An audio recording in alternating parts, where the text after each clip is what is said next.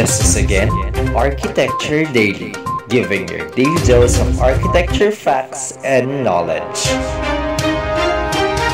On today's stories, we'll be highlighting the enriched architecture of Nepal and Tibet.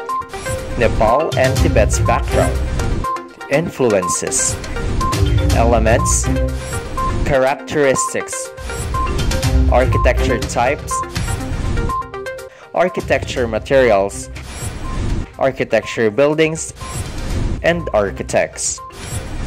Good morning, College of Architecture. I am Chester Espiritu, your today's correspondent. This is Architecture Daily, giving your daily dose of architecture facts and knowledge. First on the list, let's dive into Nepal and Tibet's brief background. We have Apryl Estavillo for this knowledge. Good day everyone, this is Apryl Precious Gem Estavillo who will be reporting about a brief history of Nepal and Tibet architecture. First, let's talk about Tibet architecture. It is influenced by its own geography, climate, and culture. Tibetan Buddhism and Indian, Mongol, Nepalese, and Tang architecture style. It was traced back to 1,300 years when first Buddhist temples were built at central Tibet. From 7th to 9th century, during the Tubo Kingdom, first palace which was the Rongbuk Lakon was built on a small hill on Yarlung Valley. According to historical records, during Tibetan Empire, Songtsen Gampo had built large Jokhang Temple, Ramoche Temple and other 108 temples which is not yet considered a monastery. In 1409, Yellow Sect Gelug first built Ganden Monastery and the 15th century Drepung Saratashi Columbus monasteries has been built, reflecting the heyday of temple architecture. According to Shengwuli records, up to 11 years of Emperor Yong Yongzheng, there were 2,477 Yellow-Sect monasteries and amounted 31.6 million lamas. The Cultural Revolution of China led the degradation of Buddhist temples, whether intentionally damaged or lack of protection and maintenance. But starting from 1980s, Tibetans start to restore and rebuild damaged temples and receive monastic temples. Next is the Nepal architecture. Nepal architecture is unique strain of art and practically. Since ancient times are known to be very hospitable, adjusting to outsiders and assimilating them easily into their own culture. Nepali temple represents such a tradition with continuous development spanning 1,500 years. Today's multi-tiered temples refer to the masterful creation of the medieval of Malla dynasty, owe much of its grandeur to a thousand-year-long history of high culture, including art and architecture. The Kavi period is often referred to the golden time of Nepal, which it has also the active times in the development of religious art and architecture. The temples of Malla, particularly the Dega and Deyok, are in a way of summary this active history and the tradition of development. And during 464 AD, the installation of the Victory Pillar by Manadeva on the hill of Changu represents the earliest landmark of architecture to be found in Nepal. Now, let's proceed to the evolution of architecture in Nepal. First is the Malla centuries. It is only the coming of into power of Jayasthiti Malla in 1382 that a period of stability started It lasted at mid-18th century when Kathmandu, Bhaktapur and Patan cities developed as three independent reigns. Example of Malla century's structure is the Dega temple, which is incorrectly defined as pagoda. It is developed its own aesthetic quality and construction system from a central cell with a walkway delimited by wall around it to a cell with an external peristyle. Next to Malla centuries is the Danewars. The birth of Newar style of architecture also arose from the technical and organizational skills of Newar society. When Malla dynasties arrived from 1200s AD, Newar society was included in Hindu caste system and many of them became Hindu. Malla dynasties gave them plenty of space for self-expression, which during their 500 years of reign, Newar people improve and direct their expressive skills toward specific objectives. Example of the Newar structure is the Nyatapola in Bhaktapur and Kumbeshwara in Patan that was built also in 18th century. Maintenance and conservation became an important activity to Newar workmen who repaired and constructed buildings totally. Um, Newar workman, according to deity guide or the Kulduta, is a Vishvakarma for Hindus, meaning it was referred to Mahabharatas as master of thousand handicrafts, carpenter of the gods, and the builder of their places divine, fashioner of every jewel, first craftsman, by whose art men live and whom, a great and deathless God, they continually worship. Next to the Newars is the new style. With the one conquest of Kathmandu Valley by the Prithvi Narayan Shah during 1751 to 1757, a new historic stylistic period started, which is called the Gurkhali period with the parallel development of Newar style that had become manneristic and sometimes eclectic, Hindu-Islamic style developed with the reconstruction of many temples and palaces. Many temples have cupolas and external walls plastered with forms typically to the late Islamic period.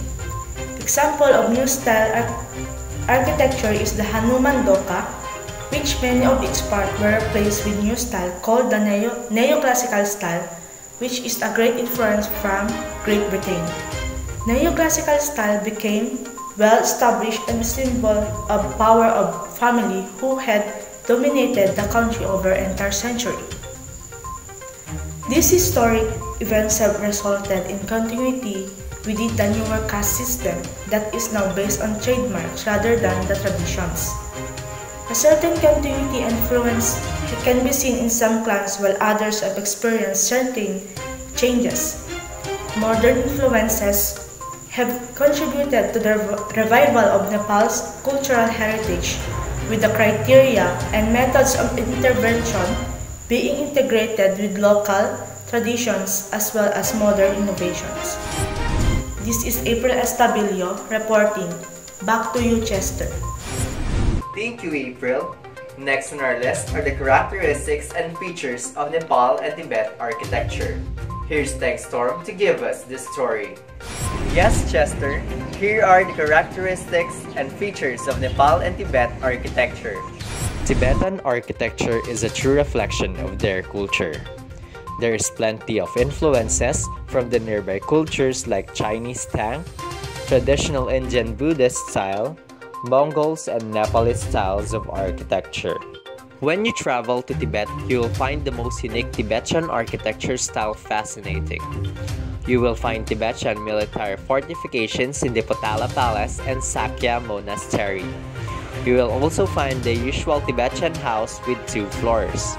The lower floors are usually for the livestock and storing house for grains. The upper floors is for the family residence. The residential part of the family consists of the common room for gathering and sleeping, chapel room for deities, kitchen, and the special room for married couples, which is available in only a few houses.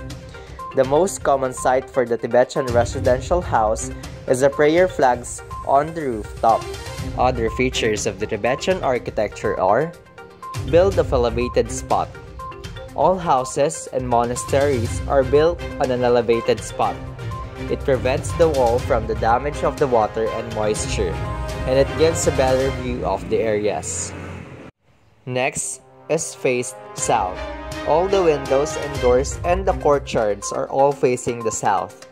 The reason it is facing south, you will have more sun time each day, especially in the winter.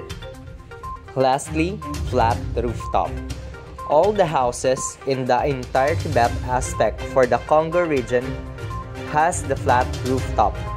The flat roof conserves heat from the sunshine and also it is easier to clean the rooftop during the snowfall. Now, let's go to the characteristics and features of Nepal architecture. Despite the devastating effects of the 2015 earthquakes, Nepal is still blessed with an astonishing array of ancient temples and palaces, and countless intricate wood carvings and stone sculptures are dotted around its back streets. Walking through the historic towns of the Kathmandu Valley, you will still discover magnificent medieval architecture at every turn. Nepal's artistic masterpieces are not hidden away in the dusty museums, but are part of a living culture, to be touched, worshipped, feared, or simply paid no heed. Architecture and sculpting arts in Nepal are inextricably intermingled. The finest wood carvings and stone sculptures are often part of a building. Indeed, a temple is simply not a temple without its deity statue and finely carved adornments. That's all for the characteristics and features of Nepal and Tibet architecture. Back to you, Chester. Thank you, Teng. Now, let's dive into the influences of Nepal and Tibet architecture, together with their materials on their buildings. Here's Apryl to give us the story. Now, let's proceed to the architectural influences of Nepal and Tibet architecture. First, let's talk about Nepal geography. Nepal is centered in the Kathmandu Valley. It is a landlocked country located in South Asia with China in the north and India in the south, east, and west. The country occupies 147,181 square kilometers of land. The country is divided into three geographical regions the Himalayan region, the Middle region, and the Tarai region. The highest point is the Mount Everest, which has 8,848 meters, while the lowest is in the Thar province of Kenchana, Kalan in Jhapa, 60 meter high. Neighbor countries are the Tibet, India, and China. Next is the Tibet geography. Tibet consists of high mountains, lakes, rivers lying between Central, East, and South Asia. Today's map shows trend toward considering all of modern China, including Tibet, to be part of East Asia, which traditionally Western sources have regarded it as Central Asia. Tibet is often called the roof of the world, comprising tablelands averaging over 4,950 meters above the sea, with peaks at 6,000 to 7,500 meters, including Mount Everest, on the border with Nepal. It was divided into two parts, the lake region and the river region, which spreads out on three sides, the east, south, and west. Let's proceed to the architectural influence, which is the religion. Let's first talk about the Nepal. Hinduism, the dominant religion in Nepal. A venue of Hindu temples spread throughout the country. With a continuous contact with Hinduism, this leads to the evolution of Shikara temple over time. It developed its own distinct morphology and style. Temples were built in a mixture of Hindu Islamic styles that was dedicated to the Radhana Krishna cult. Next is the Buddhism. It traces back its roots to the country, with Lumbini in Nepal being the birthplace of Lord Buddha. Next is Islam and Kiratism, ancient religion that is said to have originated in Nepal. It involves worship of ancestors, nature, sun, moon, wind, fire, main pillar of their homes, and gods like Sumnima, Paruhang, and Tegara Ningwapumang. Next is Christianity, which it was reported that there are 380,000 that are Christians. Other religions like Sikhism, Jainism, Baha'i, and Judaism.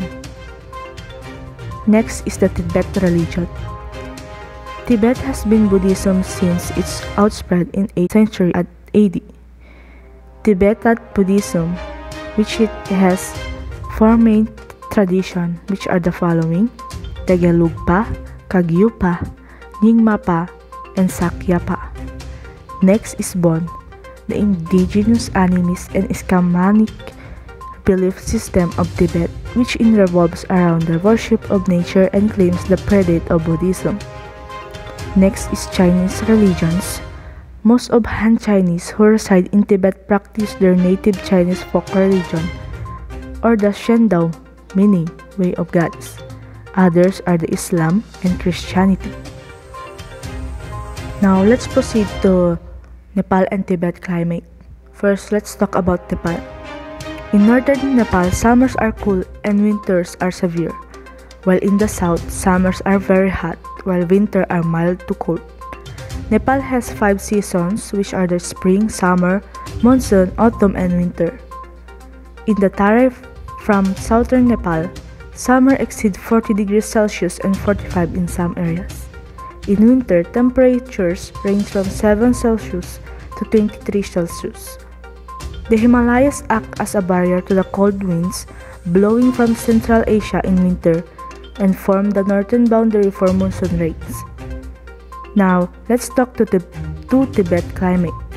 It belongs to the typical high altitude plateau of climate. Climates are much different in different areas in Tibet and temperatures vary greatly within a single day. Climate is south in southeastern Tibet is gentle and temperate with an average temperature of 8 degrees. In western Tibet, the average temperature is below 0 degrees, while in Lhasa and central part of Tibet, the climate is normal and nice for traveling. Most annual rainfall comes in rainy season that starts from May to September. The last architectural influences that we will discuss is the, is the culture. Let's first proceed to Nepal culture. A prominent factor in Nepalese everyday life is religion. Adding color to the lives of Nepalis are festivals, the year round which they celebrate with much pomp and ceremony, which food plays an important role in the celebration of these festivals. The diversity of Nepal in terms of ethnicity again makes room for various sets of customs, which it involve the religion of Hindu, Buddhist, and other religions. And did you know that slaughtering of cows is illegal in Nepal? Since cow symbolizes motherhood, charity, and pity. Marriages, which is interesting also, which traditional marriages call for deals arranged by parents after the boy and girl come of age. Before entering a temple or a house, shoes must be took off to not pollute the pure interiors with your stained soles. And also, some temples are forbidden to Hindus. And, and most important, food habits are different from different regions, and much Nepali food has been influenced by Indian and Tibetan cooking. However, they have unique cuisines which is vast and nutritious. Now let's talk also about the Tibet culture. The region names are useful in contrasting their hydrological structures and also in contrasting their different cultural uses, which is nomadic in the lake region and agricultural in river region. That's all for the architectural influences of Nepal and Tibet. So let's talk about the materials used during Nepal and Tibet architecture. First is the wood. Wood is commonly used as columns, beams, also for doors, windows, and stairs. In Nepal, there is a high quality wood that very strong and durable, which it can go to 30 meters high. This is called dasal. Dasal used for pillars, struts, beams as well as windows, doors, grates, and moldings. There is a resinous oil obtained from the sal tree, which is called the saldup, which it protects and conserves the wooden structural and construction elements exposed to open air. There is also another type of wood used in Nepal, which is the Guaisasi, lower quality than sal. In Tibet, Gansi is known for its beautiful wooden houses built in range styles and lavishly decorated with wooden ornamentation. Next is the metals where copper, iron, brass, bronze were commonly used. Next materials is the bricks and tiles. Mud bricks for the construction of walls and clay tiles were used on roofs, courtyard, pavings, and floor coverings, the type of clay used, the types of bricks produced. Last materials were the natural stones, which is either sedimentary rocks or metamorphic stones. That's all for the materials used in Nepal and Tibet architecture. This is again Apryl Estavillo reporting. Back to you, Chester. Thank you, Apryl. Next on our topics for today is the Nepal and Tibet architecture building types. Here's Teng Storm to give us this story. Yes, Chess, here are some details about the styles of Nepal and Tibet architecture. The ancient architecture of Nepal can be broadly classified into three different styles. The first one is the pagoda style. Pioneered by ancient Nepalese craftsmen, this style of architecture traveled to other parts of the world like China and Tibet via Nepalese artisans only later. The pagoda style of architecture features prominently in the structures of ancient Nepalese shrines and temples. With multiple shares of roofs arranged in ascending order from top to bottom, supported by intricately carved wooden struts, the protruding windows are characterized by lattice architecture, which has a crisscross pattern originally made of gold and alloys such as brass and bronze. This style is believed to have originated somewhere around the beginning of the 13th century. The next style is the stupa style. Monuments based on this style of architecture of Nepal has a typical hemispherical dome shape with a pyramid-like structure on top and a square base. Some stupa monuments have Buddhist chanting or theologies carved beautifully on them, while some are built to preserve the relics of Buddha and his disciples. Believed to have been introduced by Emperor Ashoka in Nepal, this style is said to represent the five elements of Buddhism, namely earth, water, fire, air, and space. The third style for Nepal is the Shikhara style. Another testimony of brilliance of the Nepalese architects of the ancient times, Shikhara means mountain peak according to Sanskrit translation, and hence the shape of a Shikhara style monument resembles a mountain peak or a pyramidal shape. Highly elaborated and intricate artworks adorn the exteriors of Shikhara-style monuments or temples. Tibet has also different but quite similar architecture building types. The first one is temples and monasteries. According to Reuters, there are about more than 1,700 temples and monasteries in Tibet. Tibetan temples have flat roof and contain ashes of their incarnations of local lamas. Temples have a square or rectangular plan and are composed of three main parts an assembly hall, ambulatory, and cells.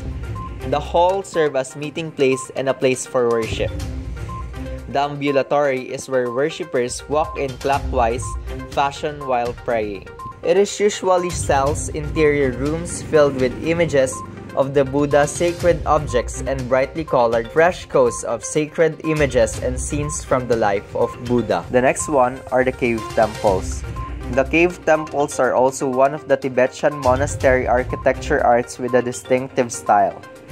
But its prevailing period was rather short and spreading region was narrow. The existing cave temples in Tibet are only two, which were built between the period of the former prosperity and the early period of the latter prosperity of Tibetan Buddhism. Dakla Lubok cave located in the east side of the Chakpor Hill, southwest of Potala Palace is the earliest pattern. Next are the Tibetan pagodas. The pagoda architecture art is another beautiful flower in Tibetan monastery architecture art garden. Being different from the pagoda affiliated to the monastery complex, the pagoda here became the center of the monastery architectures. The pagoda architectures were prevalent in Tsang region between the 14th and 15th centuries. Next are the Tibetan palace buildings. Tibetan palace buildings are places where Dalai Lama and Panchen Lama handle affairs, and divided into Winter Palace and Summer Palace. Those palaces and Buddha hall in temples belong to highest level and have high similarity in Eve's decoration. However, the walls of palaces are painted in yellow and white rather than red. Next are the architectures of ancient tombs. To date among the Tibetan ancient architecture sites, the tombs are the most on the part of quality and distribution. The occurrence of Tibetan tomb architectures was closely related with the changes in the times of funeral and burial customs. Since Drigum Tsenpo, all the successive transpose were inhumation when passed away and special architectures were built on the tombs for people to mourn for them. Lastly, architectures of local residents. Architectures of Tibetan residents are colorful and unique and varied according to regional conditions. The great variation in climate, geography, elevation between places in Tibet makes Tibetan people to build different residences with different materials and styles.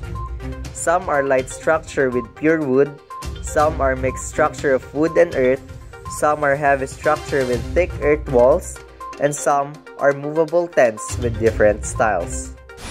That's all for my news today. Back to you, Chester. Thanks, Teng. Now let's get to know the famous structures of Tibet and Nepal architecture. Watch Starry Spirit guide us through this topic. Thanks, Chess. Now, let me introduce you to the buildings of Nepal and Tibet architecture. The first on our list is the Pashupatinath Temple. Considered to be one of Kathmandu's oldest Hindu temples. This religious site dates back to 5th century but was later renovated in the 13th century by Ananta Malya, a ruler of Malya regime. After undergoing further damage, it was rebuilt again in the 17th century with exquisite artwork and as many as 492 temples along the main temple. It is a pagoda-style architecture and is one of the holiest shrines for devotees of Lord Shiva. This temple has a dual roof which is entirely made up of gold, copper, with intricately carved wooden rafters which act as a support.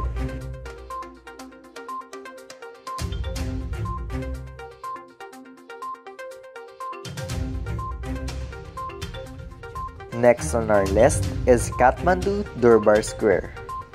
Durbar Square is a generic name for plazas or an area in the vicinity of a Durbar or palace. There are three Durbar squares in Nepal, and among them, the most famous one is the Kathmandu Durbar Square, also referred to as the Hanuman Dhoka Square. This site served as a courtyard of the royal palace in the ancient times, where the kings would be enthroned.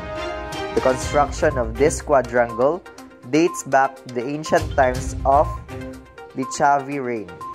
However, it underwent renovation several times during rule of the Malyas.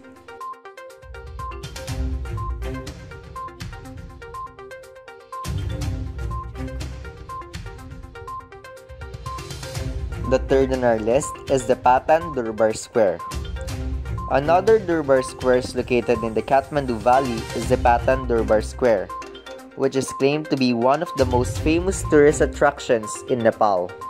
Even though the history of the inception of this square is unknown, however, one common belief is that Malya rulers made most of the significant changes.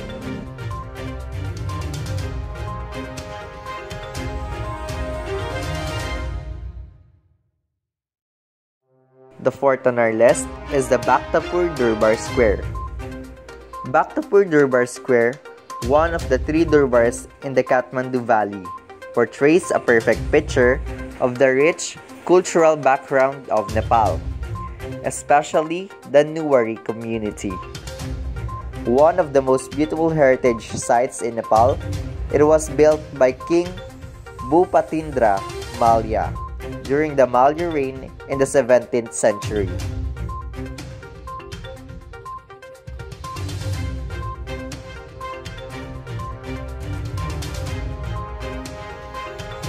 The next on our list is the Kasthamandap Temple.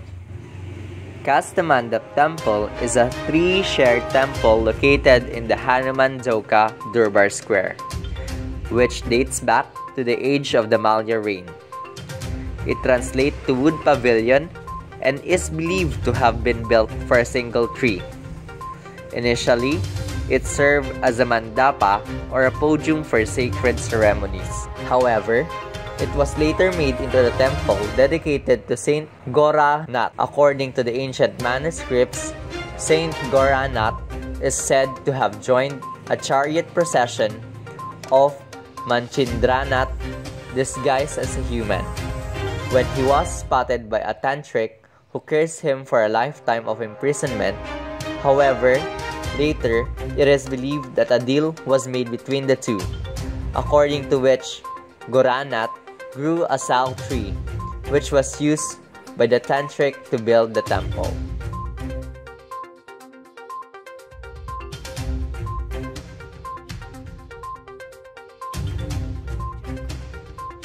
The sixth on our list is Changunarayan Temple. The journey to the temple of Changunarayan, who climbs through several steps through a small picturesque Nepalese village known as Narayan. The origins of this Hindu temple dates back to the 4th century AD. According to the inscriptions on a Garuda column in the temple. This temple was dedicated to Lord Vishnu, who appears as Narayana or creator of a new age.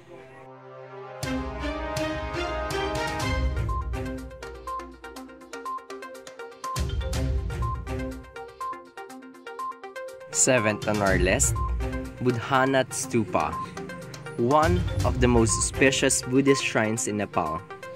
This stupa is more than 1,500 years old and attracts followers of all religions especially Buddhism um, on a large scale.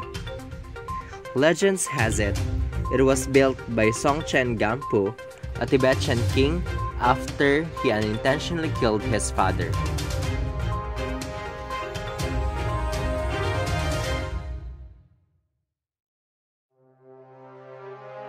Number 8. Namo Buddha Stupa it is one of the most sacred pilgrimage sites for Buddhists across the world. Legend has it that it was the place where Lord Buddha, in his previous birth as a prince, sacrificed his body to a starving tigress and her cubs, and hence, the site is sometimes also referred as Takmo Lujin, which means tigress body generosity in Tibetan pilgrims believe that this stupa was built on top of the remains of Lord Buddha to celebrate his great sacrifice.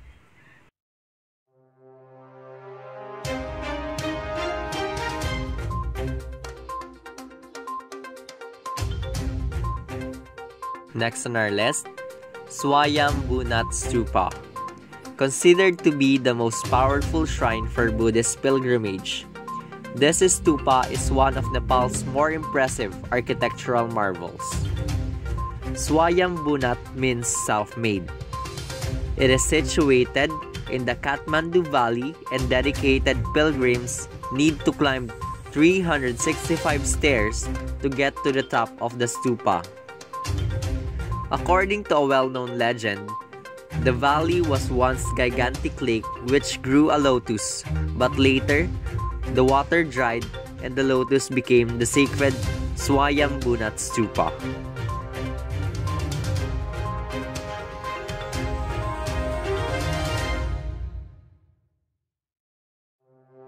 Next, Krishna Mandir. Built by King Siddhirasingha, Malla of the Maurya regime, this temple is perhaps one of the best examples of Shikhara style architecture of Nepal.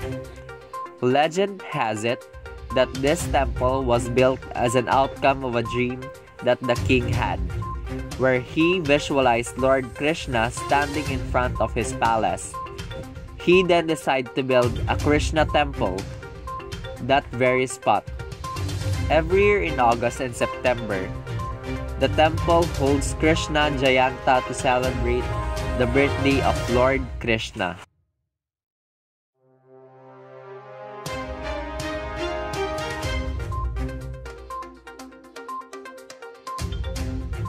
Finally, Mahabuddha Temple. Mahabuddha Temple gets its name from the 1008 terracotta tiles that cover the entire temple structure.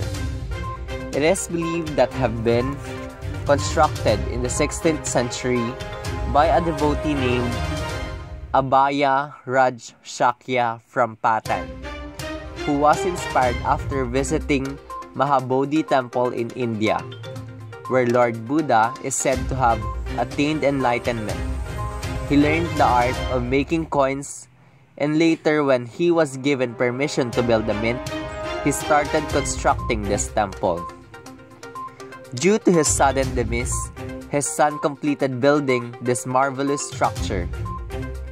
Even today, this ancient Shikhara-style temple stands tall in small courtyard amidst the hurly-burly of the local markets.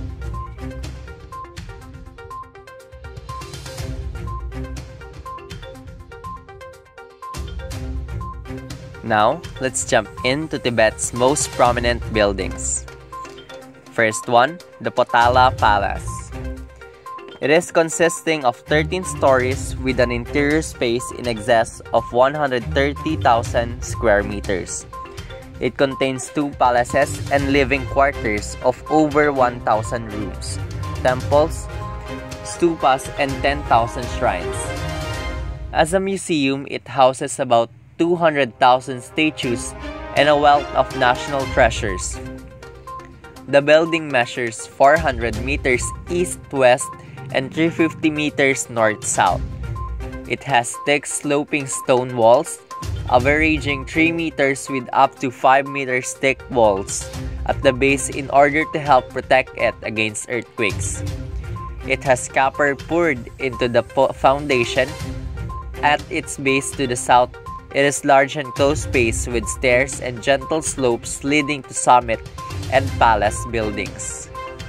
Next on the list, Tashi Lhunpo Monastery.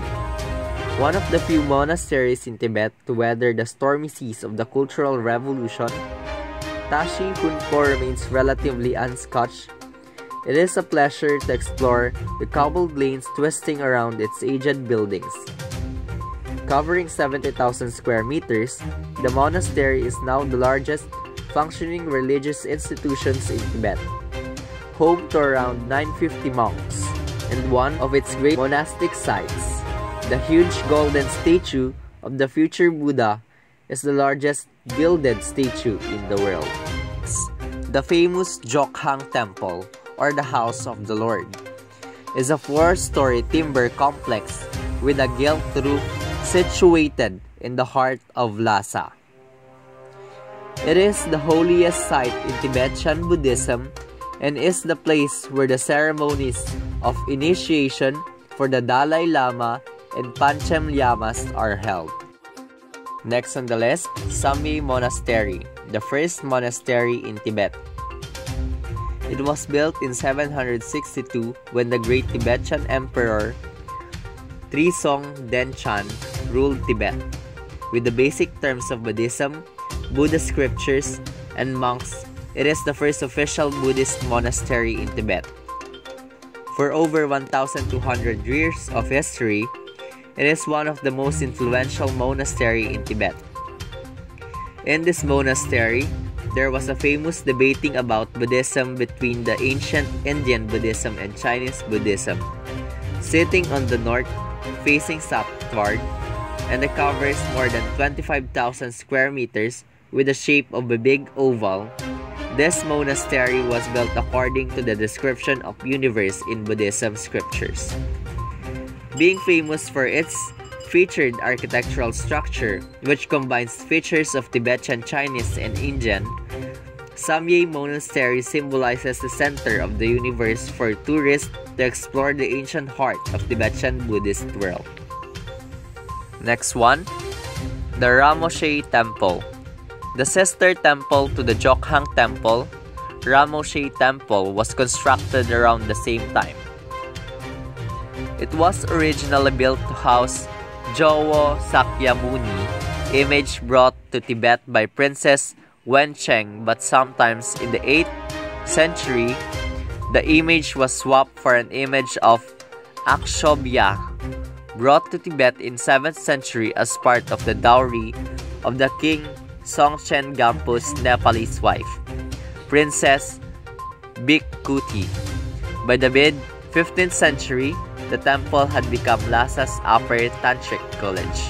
Lastly, the Palcho Monastery, the synthesis of Tibetan culture. Palcho Monastery, also called Palkhor Monastery, is a typical combined building with stupa and temple, and quite different from other Tibetan monasteries in more aspects. By housing three sects of Sakyapa, Kadama, and Geluga together, it has a hard-won lenient tolerance among the Tibetan sects to balance them all.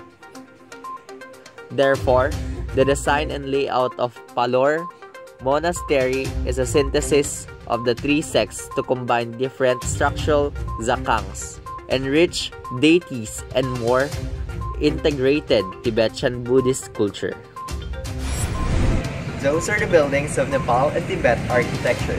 Back to you, Chester. Thank you, Tori. Now, for the last story for today is the architects of Nepal and Tibet architecture. And here's Apryl to introduce them. Apryl? Now, let's talk also about the Nepal and Tibet architects. First is Arniko, the greatest architect of Nepalese history. Due to confusions to translation, a mistake made by Baburam Acharya ascribed his Sanskrit name as Balabahu. He was forced to live in China, where he drew great respect, where he made lots of sculpture works, which are still asset of China. Nepalese author Satya Mohan Joshi said about Arniko's works are a real great challenge to modern engineering. Arniko was equally good at painting, sculpture, and architecture. He painted a series of portraits of Chinese emperors and impressed everyone there. He garnered the title Duke of Liang by the emperor. He married seven women, from he had a total of six sons and eight daughters. Arniko was died in 1306. His famous works were White Pagoda or the Paitaze in Beijing, Golden Stupa or a Buddhist shrine, and Archway of Yungtang in Nepalese style. Next architect is Bed Prasad Lohani, the first to introduce concrete structure in Nepal. He played with variety of elements in his buildings like RCC, RBC, dome, and etc. His buildings are simple, functional, and structurally stable. His works include Saraswati Sadan and Ranjana Hall. Next architect is Ganga Darbata Halabe, the first Nepali architect, founder of modern architecture in Nepal, and he was born on April 13, 1936. Ganga Darbata in 1968 himself won the first prize of RS 5000 in the open design competition for the Rastriya Panchayat Bhavan. His style is modern. He is fond of repeating Frank Lloyd Wright's statement that architecture should be organic and all organic matter must be speak and should work. His works include Hotel Soaltee, City Hall, Tarasatranga Shala, and Godawari Botanical Garden. Next architect is Carl Pruscha. He is an Austrian architect. He was born on June 10, 1936. He was assigned to prepare the master plan of Kathmandu Valley, which he influenced architectural trend in Nepal. Made great attempts in merging his buildings into the surroundings physically while he intentionally avoided any feature suggestive of Nepali architecture, yet managed to design buildings with harmony in the place. His works include Center for Economic Development and Administration Building and the Taragaon Museum. Next architect is Shankar Nath Rimal.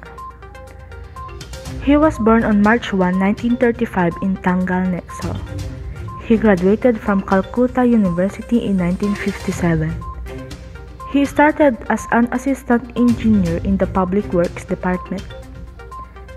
He is an engineer who designed the Shahid Gate in 1958, just a year after finishing his BE from Calcutta University.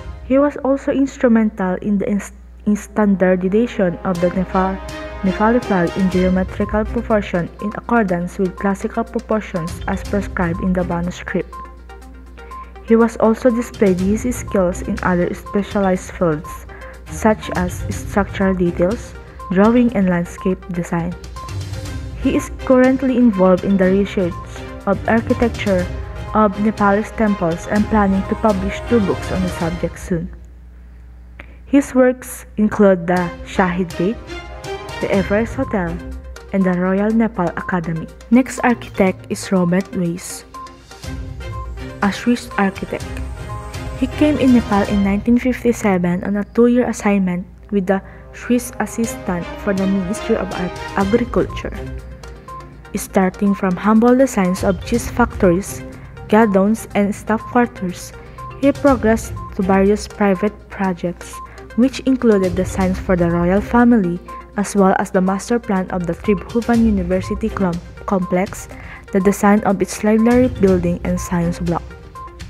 His works was in blend between traditional and modern.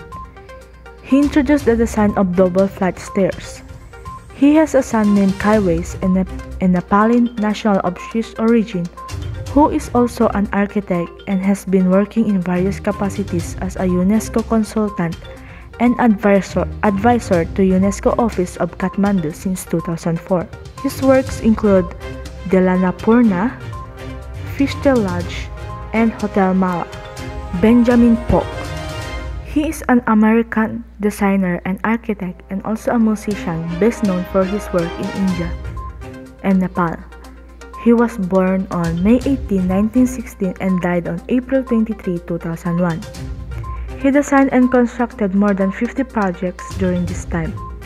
He practiced architecture in San, Franci San Francisco from 1948 to 1952 where he met his wife, wife Emily Despain. His, notable works include the Times of India main building, Buddhist Trip Tripitaka Library in Yangon, the Royal Palace for His Majesty the King of Nepal, Kathmandu, and Jallianwala Bagh Memorial in Amritsar. He was the author of several books, primarily concerning architecture, most notably the Buddhist monastic architecture in Sri Lanka and the India Notebook.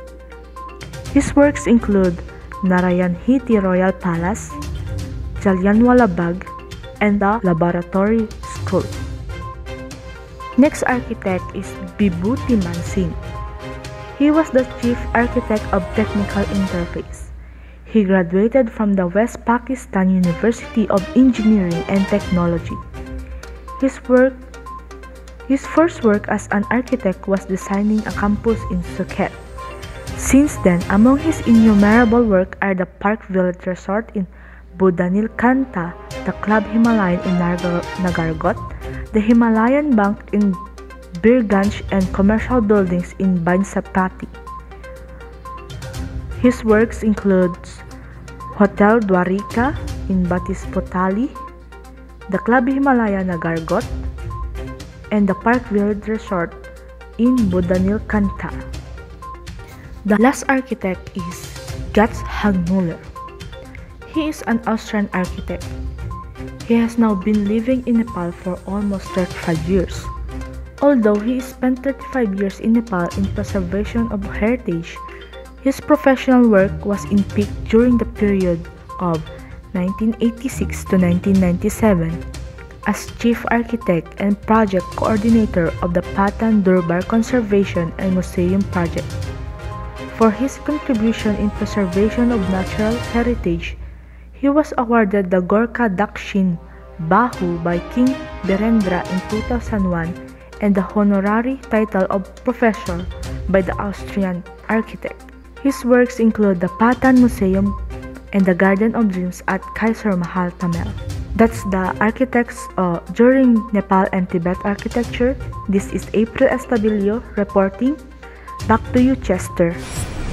I think that wraps up today's Architecture Daily Updates. Tune in again next time to your daily dose of architecture facts and knowledge. Until next time, thank you and good day.